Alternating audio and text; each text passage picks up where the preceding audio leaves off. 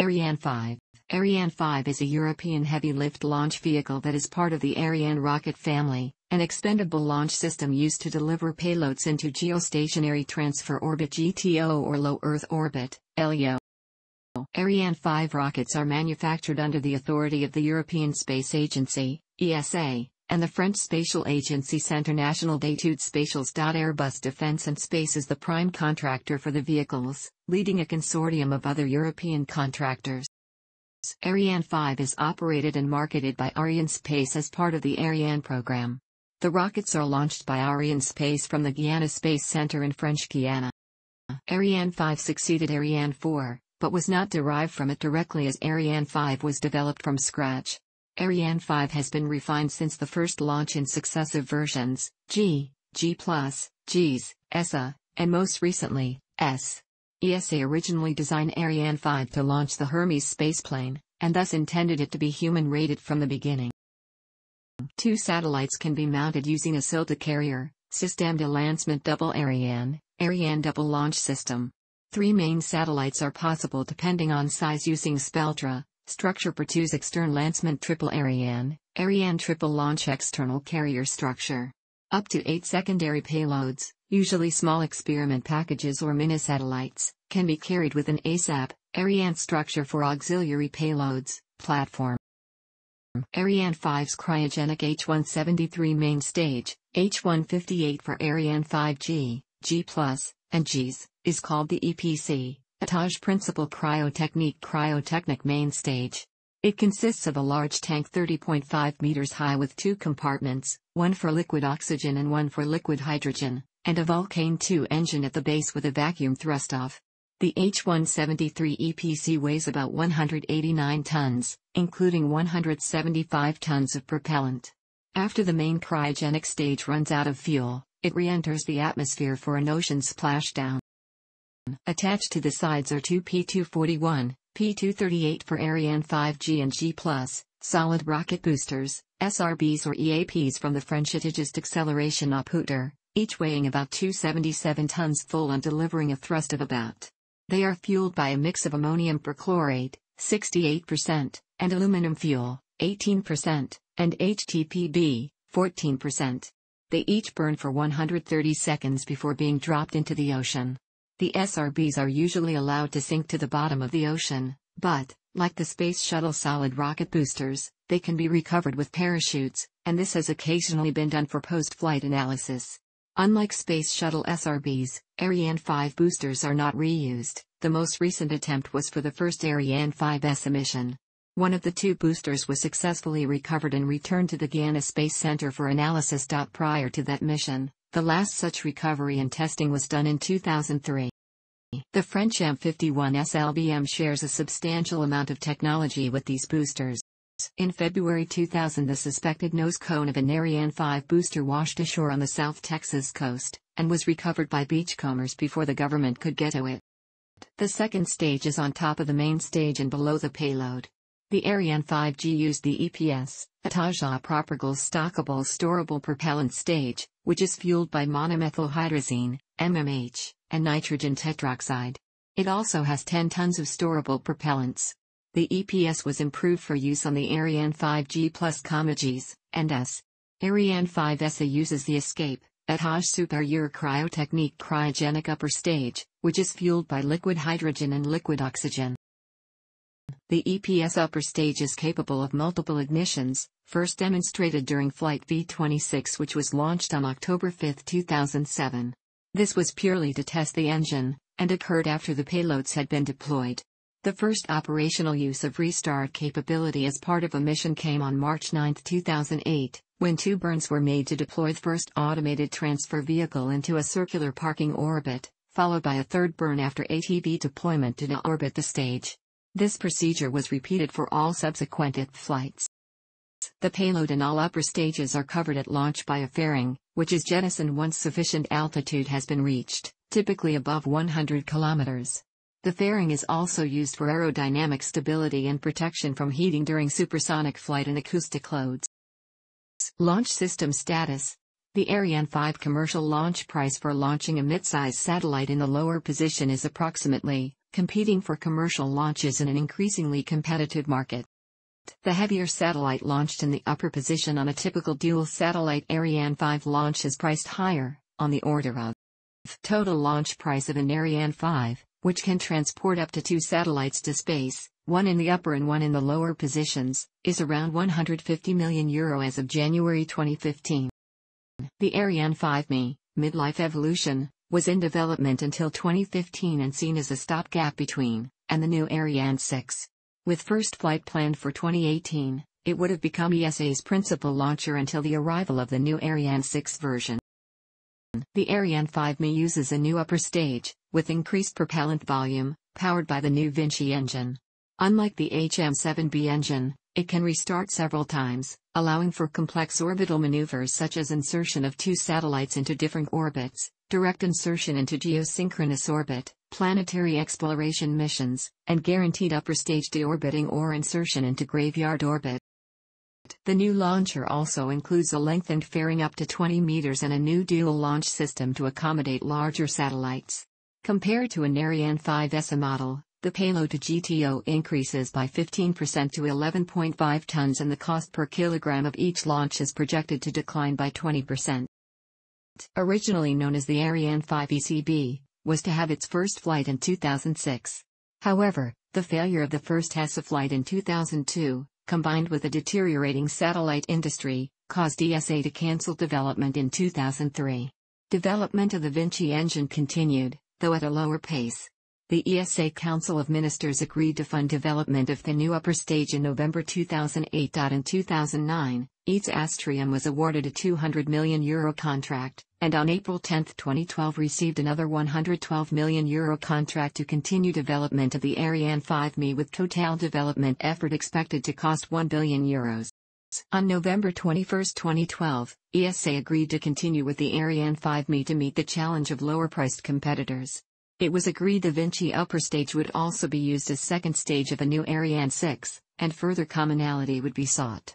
Ariane 5Me qualification flight is scheduled for mid-2018, followed by gradual introduction into service. On December 2, 2014, ESA decided to stop funding the development of Ariane 5Me and instead focus on Ariane 6 which should have a lower cost per launch and allow more flexibility in the payloads, using 2 or 4 P120C solid boosters depending on total payload mass. Work on the Ariane 5 EAP motors has been continued in the Vega program. The Vega first stage engine, the P80 engine, is a shorter derivation of the EAP. The P80 booster casing is made of filament wound graphite epoxy, much lighter than the current stainless steel casing. A new composite steerable nozzle has been developed while the thermal insulation material and a narrower throat improve the expansion ratio and subsequently the overall performance. Additionally, the nozzle now has electromechanical actuators which have replaced the heavier hydraulic ones used for thrust vector control. These developments will probably later make their way back into the Ariane program. The incorporation of the ESC-B with the improvements to the solid motor casing on an uprated Vulcain engine would deliver to LEO.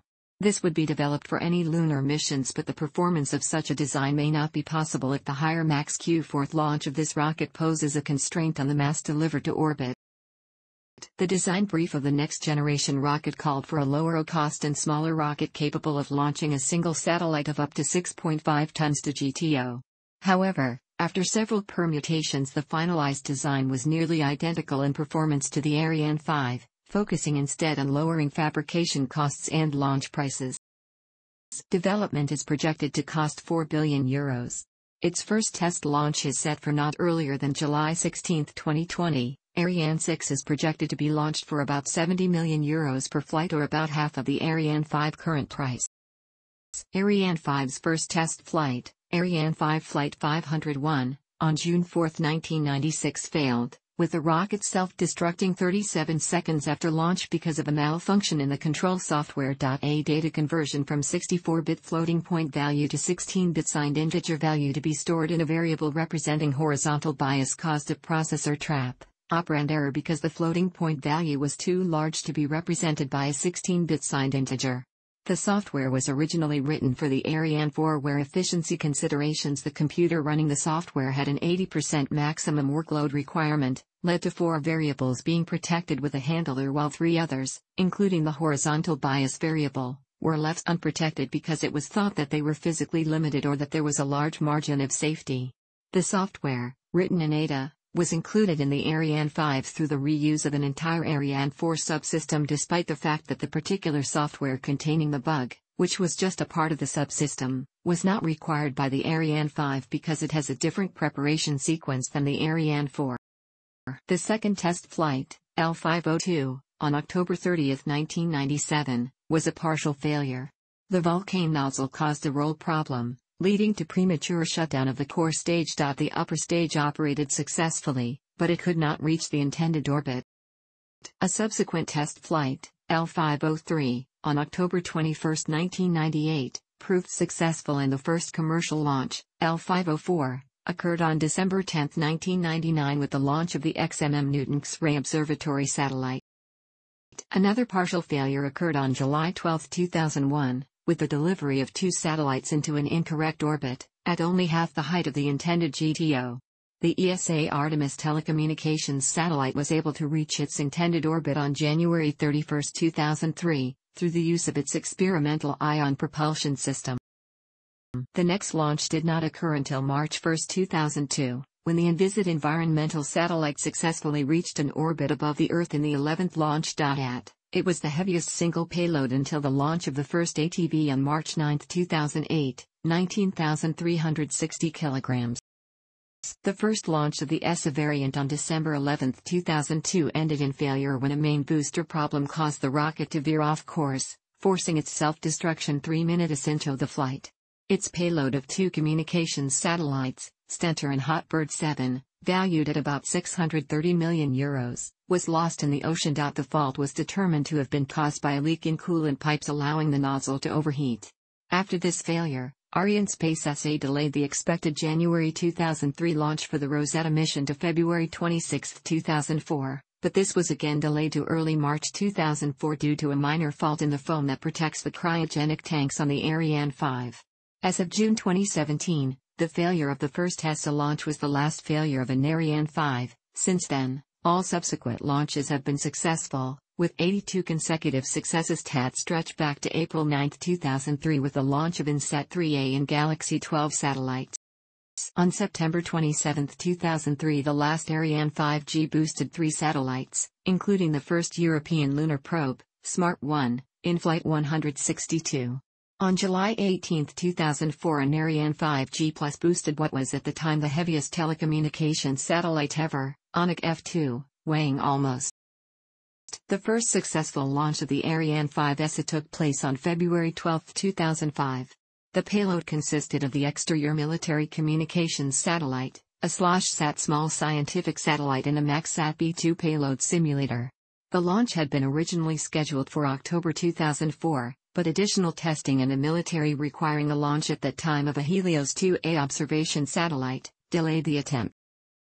On August 11, 2005, the first Ariane 5Gs, featuring the Ariane 5S's improved solid motors, boosted Thaicom 4/Ipstar 1, the heaviest telecommunications satellite to date at, into orbit.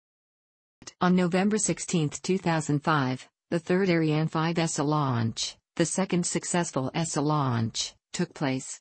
It carried a dual payload consisting of Spaceway F2 for DirecTV and Telkom 2 for PT Telekomunikasi of Indonesia. This was the rocket's heaviest dual payload to date, at more than. On May 27, 2006, an Ariane 5 ECA rocket set a new commercial payload lifting record of 8.2 tons. The dual payload consisted of the Thaicom 5 and SatMex 6 satellites. On May 4, 2007 the Ariane 5 ECA set another new commercial record, lifting into transfer orbit the Astra 1 Leader and Galaxy 17 communication satellites with a combined weight of 8.6 tons, and a total payload weight of 9.4 tons. This record was again broken by another Ariane 5 ECA, launching the Skynet 5B and Star 1C1 satellites, on November 11, 2007.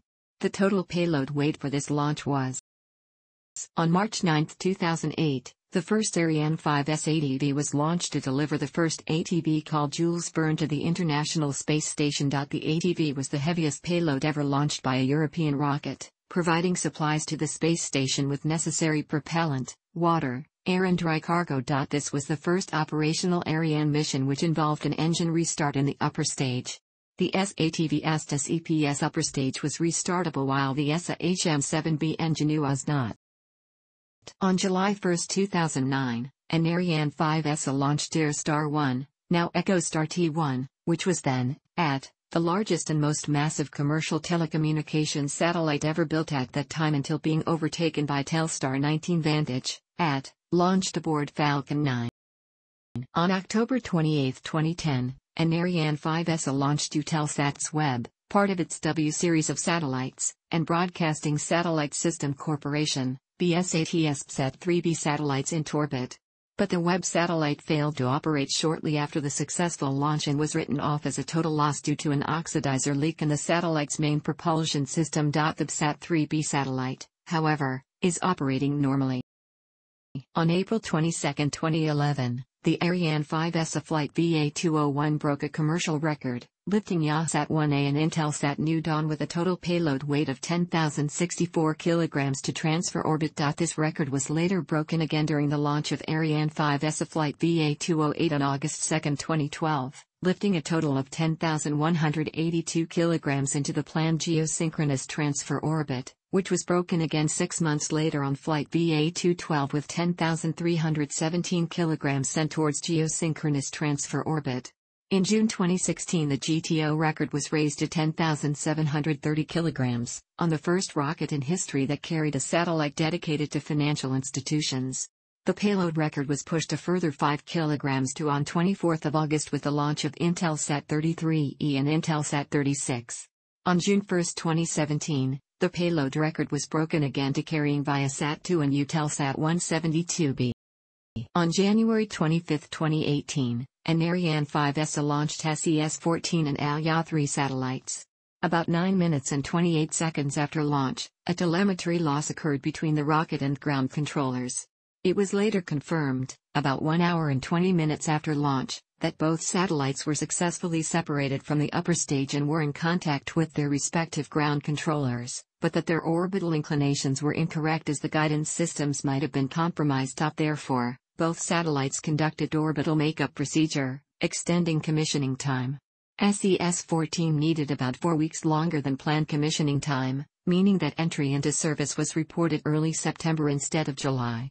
Nevertheless, SES-14 is still expected to be able to meet the design lifetime, since it was originally to be launched on a Falcon 9 rocket and has more propellant reserve as the Falcon 9 usually deploys geostationary satellites into a high inclination orbit that requires more work from the payload to reach their final geostationary orbit. The Alya 3 was also confirmed healthy after more than 12 hours without further statement, and like SES 14, Alya 3's maneuvering plan was also revised to still fulfill the original mission. As of February 16, 2018, Alya 3 was approaching the intended geostationary orbit, after series of recovery maneuvers had been performed. The investigation showed that invalid inertial units azimuth value had sent the vehicle 17 degrees off course but to the intended altitude, they had been programmed for the standard geostationary transfer orbit of 90 degrees when the payloads were intended to be 70 degrees for this supersynchronous transfer orbit mission, 20 degrees off norm. This mission anomaly marked the end of 82nd consecutive success streak since 2003. Ariane 5 rockets have accumulated 101 launches since 1996, 96 of which were successful, yielding a success rate. Between April 2003 and December 2017, Ariane 5 flew 82 consecutive missions without failure, but suffered a partial failure in January 2018. All launches are from Kourou LA-3. Ariane 5 had 18 missions on its launch manifest, including 15 for pairs of satellites. Up to seven launches were planned for the year 2018, five with dual communications satellites due to geosynchronous orbit, one with four Galileo satellites, and one carrying the Bepi Colombo mission. Thanks for watching. Don't forget like the video and don't forget to subscribe.